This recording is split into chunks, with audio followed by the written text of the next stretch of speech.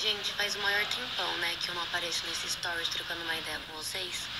Então, vou aproveitar esse momento de reflexão aqui comigo e vou trocar uma ideia com vocês e vocês interagem comigo, tá? Fala a opinião de vocês depois.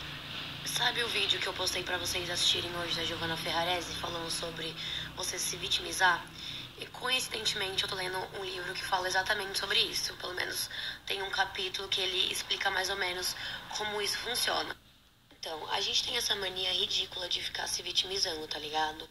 Tudo é culpa de alguém, tudo é, é os céus, as chuvas, só chove na minha cabeça, tudo de errado na minha vida dá por conta dos outros, não sei o que. A gente nunca se coloca no papel da pessoa que causa essas coisas na nossa vida, sabe?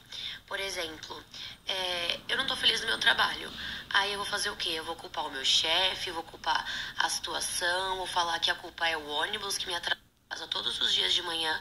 Por isso que eu chego atrasada e meu chefe briga comigo. Aí o meu chefe é ruim porque ele não compreende o meu lado, sendo que eu durmo 10 minutos a mais e perco o ônibus no meu horário, entendeu?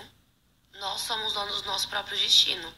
Então, se a gente ficar se vitimizando, se colocando para baixo, se diminuindo e colocando a culpa nas situações, a gente nunca vai crescer, a gente nunca vai evoluir em nada, entendeu?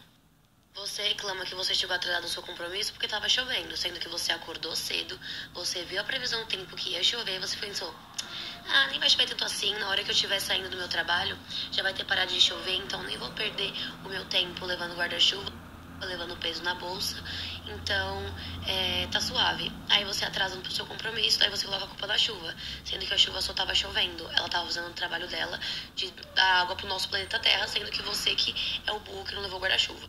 Isso é uma questão de ponto de vista. O que, que você vai fazer? Você vai reclamar da chuva? Você vai comprar um guarda-chuva no caminho?